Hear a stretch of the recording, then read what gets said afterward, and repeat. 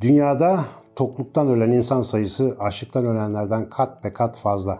Neden acaba?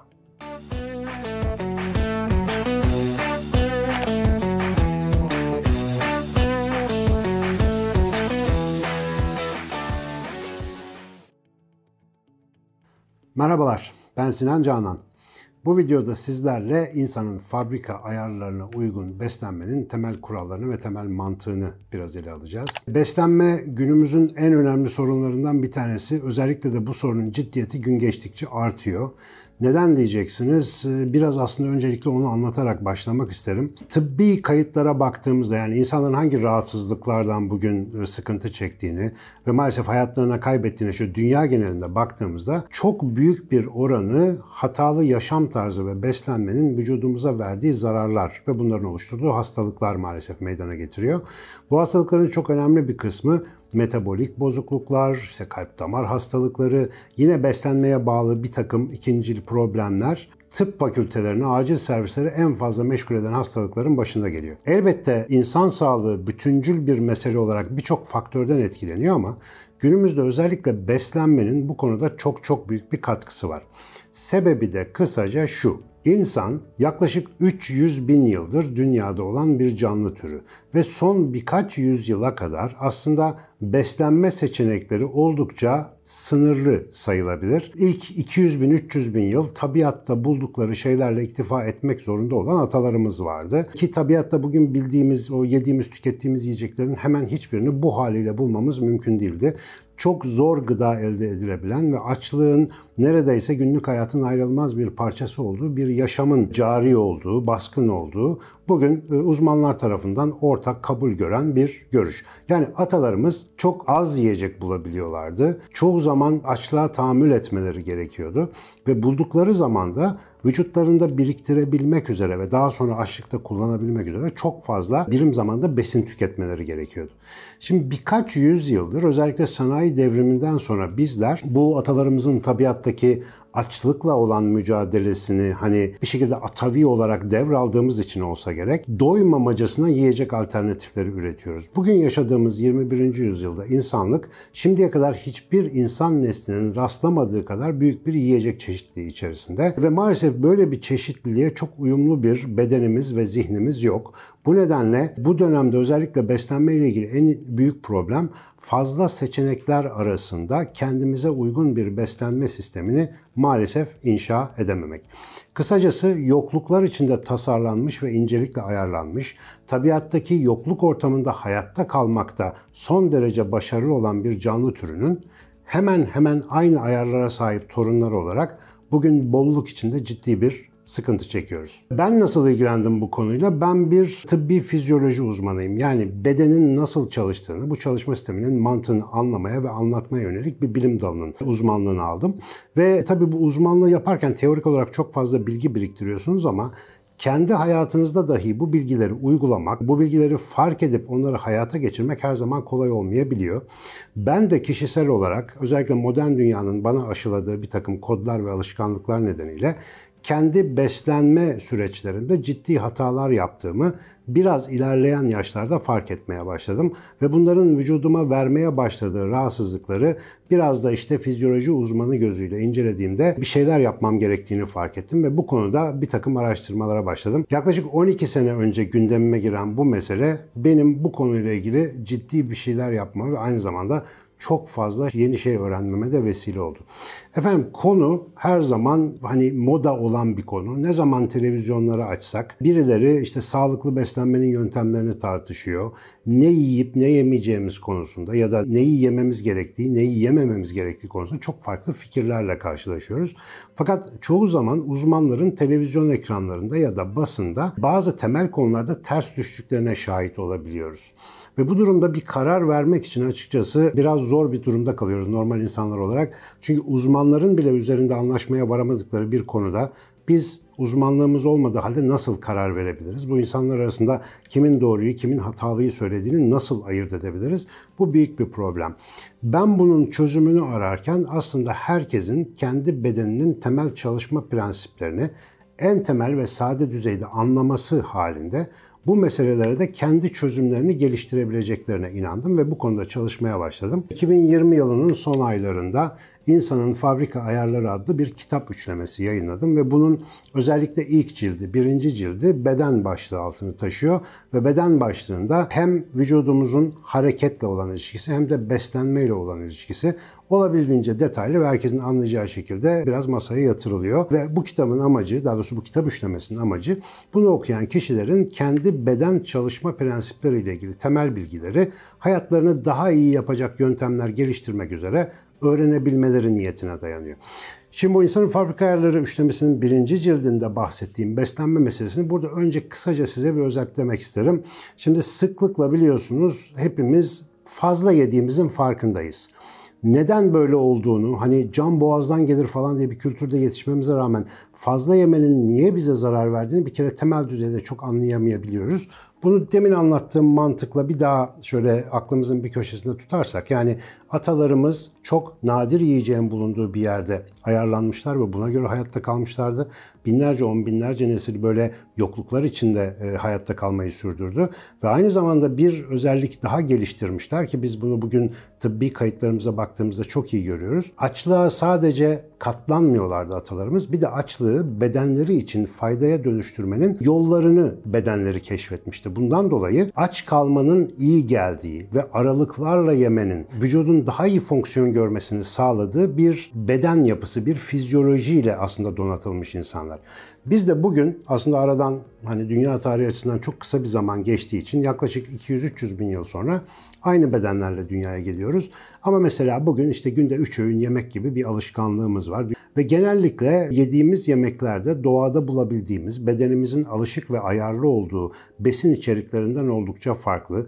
Bir taraftan işlenmiş gıdalar, bir taraftan işte üretim maliyetini düşürmek ve verimi arttırmak için uyguladığımız genetiği değiştirilmiş organizmaların üretimi gibi yöntemler, işte tarımda, hayvancılıkta her türlü teknolojik ya da biyoteknolojik gelişmeler bir anda etrafımızı çok çeşitli ve çok fazla besleyicilik özelliği olan, belki de aşırı besleyicilik özelliği olan gıdalarla çevirdi. Şimdi bu resme baktığımızda temel sorunumuz çok fazla seçenek var çok fazla yiyecek var. Biz bunlardan hangisini seçelim? E uzmanlar da böyle görüş ayrılığına düştükleri zaman yapacağımız şey kendi bedenimizin aslında nasıl çalıştığını önce temel düzeyde öğrenmek, sonra da bize özel parmak izi gibi benzersiz vücutlarımızın kendi alameti farikası ya da kendi özellikleri olan farklılıkları fark etmek.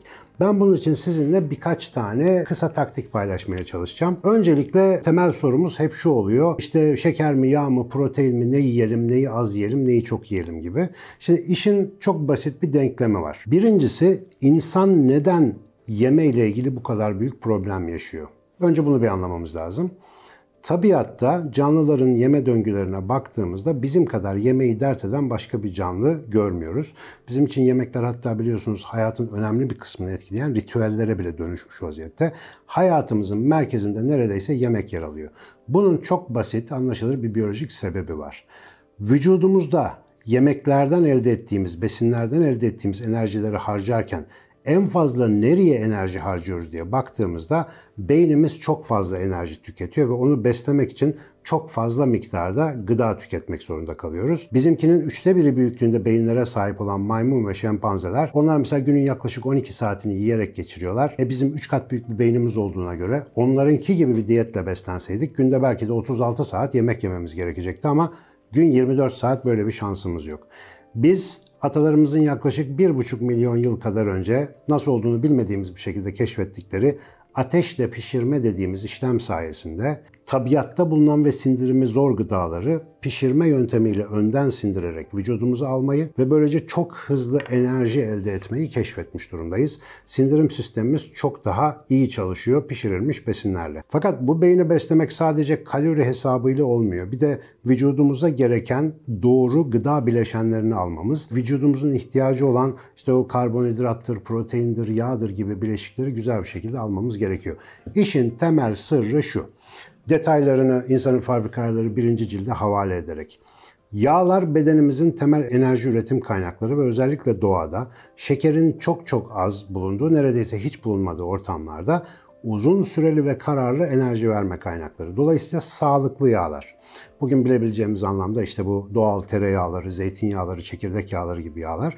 Bunlar vücudumuza iyi gelen yağlar. Bunları tüketmekte bir beis yok. Yani bunları gıdamızda muhakkak bulundurmamız gerekiyor. Karbonhidratlar dediğimiz şeker, un vesaire de bildiğimiz o içinde nişasta yahut glikoz içeren malzemeler vücudumuzun çok alışık olmadığı malzemeler. Alışık olmadı derken en hızlı enerji kaynağımız glikoz. Evet buna bayılıyoruz. Tabiatta da az olmasına rağmen atalarımız muhtemelen büyük uğraşlarla arayıp buluyorlardı.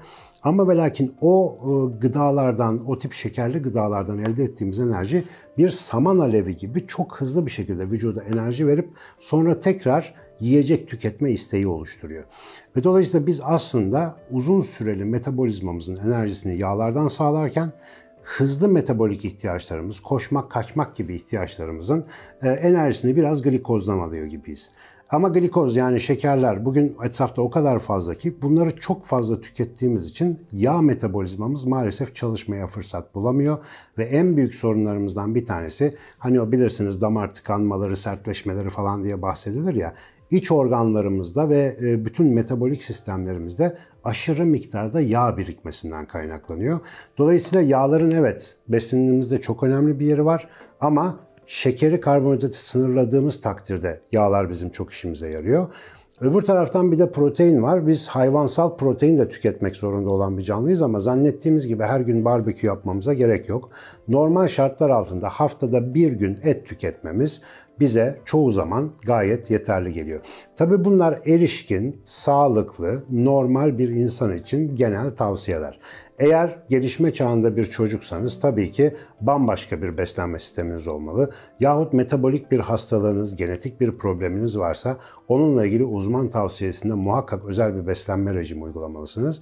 Ama sağlıklıysak, vücudumuzda herhangi bir metabolik problem yoksa insanın fabrika ayarları bağlamında biraz önce söylediğim gibi sağlıklı yağlardan zengin, sınırlı karbonhidrat, mümkünse iyice azaltılmış karbonhidrat içeriği ve dengeli protein desteğiyle son derece sağlıklı bir beslenme oluşturabilirsiniz.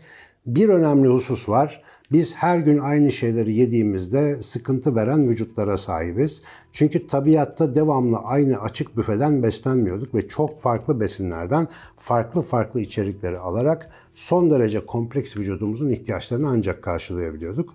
Bugün de maalesef özellikle hızlı tüketilen gıdaların yoğun olduğu bir yerde biz farklı şeyler yediğimizi zannetsek de aslında hep birbirine benzer şeyler tükettiğimizi çoğu zaman fark edemiyoruz. Arada bir beslenme stilimizi değiştirmek, vücudumuzu şaşırtmak, aldığımız gıdalarda bir takım çeşitlilikler denemek vücudumuza çok iyi geliyor. Ama bunların hepsinin üstünde günde 12 ila 14 saat civarında aç kalabiliyor isek ve bu açlık bizi hani böyle sinirlendirmiyor ve delirtmiyorsa güzel besleniyoruz demektir. Çünkü insanın orijinal diyetinde günün her saati yemek yemek diye bir sistem yok. Bizim vücudumuz günlük yaklaşık 14 saatlik bir açlık döneminde kendi bütün hata ve kusurlarını, sorunlarını düzeltme durumuna sokan ilginç bir metabolizmaya sahip. Denemesi bedava. Haftanın iki günü günde sadece 14 saat aç kalarak ki bunu kolay yapmak için karbonhidrat alımını iyice azaltmanız lazım. Günde 14 saat bir açlık deneyerek birçok kronik sorununuzun nasıl kendi kendine iyileştiğini hemen gözleyebilirsiniz. Bu arada dünyada aralıklı oruç diye işte doktorların reçeteye yazdıkları basit bir formül bu. Biz bunu bugün tıbbi bir reçete olarak yazıyoruz ama daha düne baktığınızda insanların normal beslenme döngülerinin biraz bunlardan oluştuğunu görüyoruz. Son bir önerim kapatmadan önce şu olabilir. Biz genellikle yemek yiyoruz ama yemek yemeden öte çağımızın insanı özellikle de biraz böyle meşgulse, işte biraz bu konularda çok fazla kafa yormuyorsa maalesef vücuduna bir şeyler tıkıştırmak şeklinde bir beslenme süreci geçiriyor maalesef.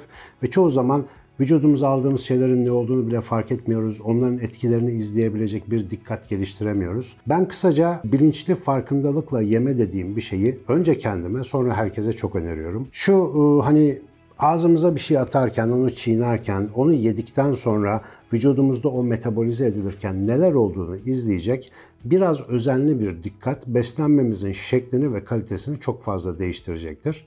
Her lokmayı ağzımıza atmadan önce şöyle bir kokusunu, dokusunu, şeklini, ağzımıza attıktan sonra ağzımızdaki tadını, hissini ve onu yedikten sonra bedenimize dahil ettikten sonra 1-2 saat boyunca nasıl hissettiğimizi izlemeyi biraz alışkanlık haline getirirsek yediğimiz her şeyin potansiyelinin maksimumuyla bize fayda verdiğini rahatlıkla göreceğiz diye düşünüyorum. Beslenme aslında bu kadar üzerine uzun konuşacak zor bir şey değil ama maalesef insan hayattaki her şeyi kendi seçimleriyle zorlaştıran bir varlık. O yüzden biraz daha sakin, biraz daha ayarlarımıza uygun yiyelim. Hepinize afiyet olsun. Buradaki sohbetimiz hoşunuza gittiyse Deniz Akademi kanalına abone olmayı unutmayın. Bir sonraki videomuzda sizlerle biraz stresten ve stresin bizi neden öldürdüğünden bahsedeceğiz.